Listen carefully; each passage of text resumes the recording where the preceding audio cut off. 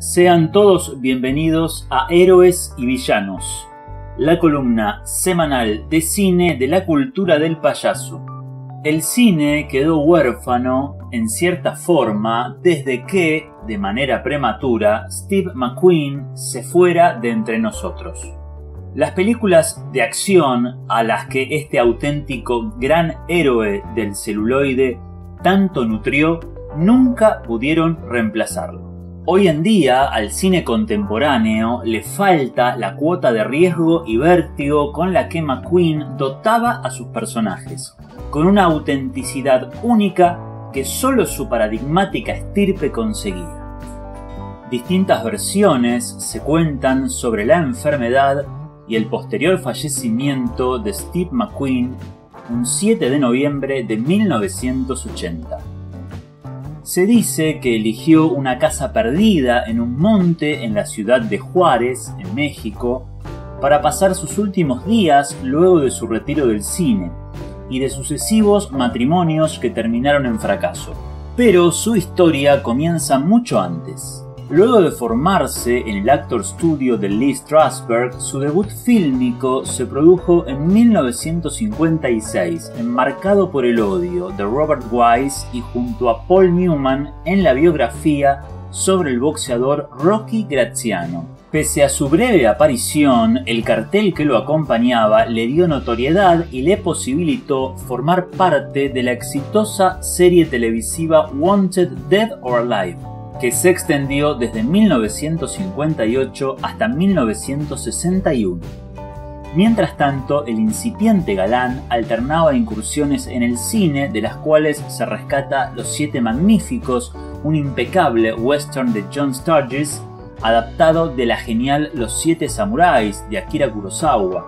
Hacia comienzos de la década del 60, el estatus de McQueen como megaestrella del cine de acción se fue acrecentando gracias a títulos icónicos para el género como El infierno es para los héroes de Don Siegel, El gran escape también de John Sturges, Adiós ilusiones de Norman Jewison, El caso Thomas Crown, otra vez a las órdenes de Jewison, y Bullet de Peter Yates.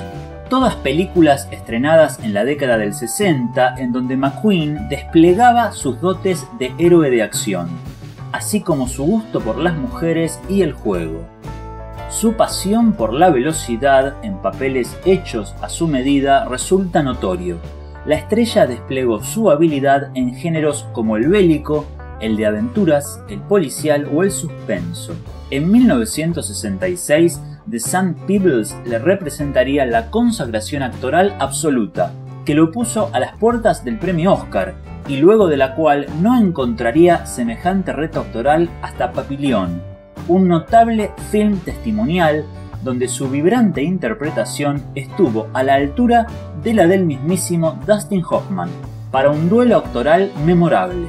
Luego volvería a trabajar junto a Sam Peckinpah y su segunda esposa, la actriz Ali McGraw, para la brillante película de acción La Fuga, un año más tarde, en 1974, inauguraría junto a Paul Newman el cine catástrofe de Hollywood, con Infierno en la Torre.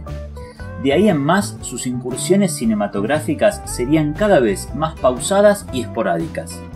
Su último gran trabajo que se le conociera fue el recordado western Tom Horn, en 1980, un McQueen maduro, pero con un carisma intacto, demostraba no perder la buena forma para encarnar héroes que se identificaran con el público. Gracias al aura intocable que el actor generó en torno a su mítica imagen, no ha habido otra estrella de acción a su altura.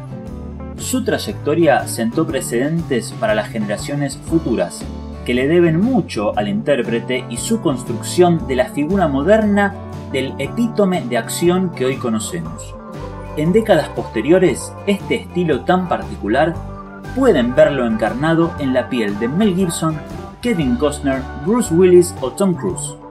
Como gran mito cinematográfico y por lo que su figura significó para una época dorada de Hollywood, su partida tan repentina como sorprendente dejó un vacío difícil de subsanar.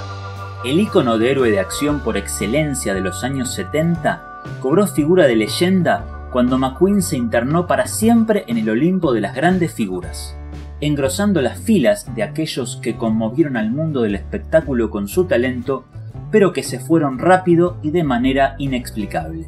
Steve McQueen, un auténtico hombre de acción.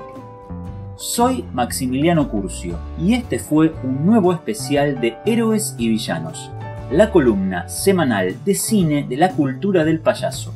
Los invito a encontrarnos en la próxima emisión. Hasta muy pronto.